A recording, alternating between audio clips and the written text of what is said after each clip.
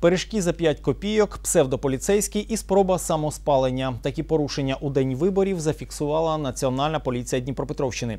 21 липня правоохоронці відкрили 6 кримінальних проваджень. Так, до двох років обмеження волі може отримати людина, що у Першотравенську викрала бюлетень з виборчої дільниці. П'ятирічне позбавлення волі загрожує мінувальнику з Кривого Рога. Він повідомив про вибухівки на трьох дільницях, але інформація виявилася хибною.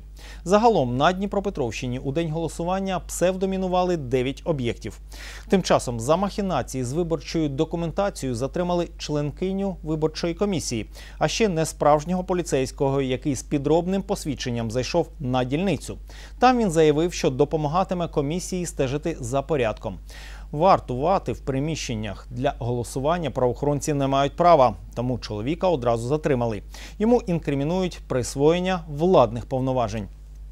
Були досить цікаві е, правопорушення, і ми зараз розглядаємо, чи мають вони підставу адміністративного чи кримінального, чи взагалі є там правопорушення. Ну, наприклад, продаж пиріжків за 5 копійок. Також були у нас спроба самоспалення в Нікопольському районі, бо в стані алкогольного п'яніння він не знайшов себе в списках цей громадянин правоохоронців.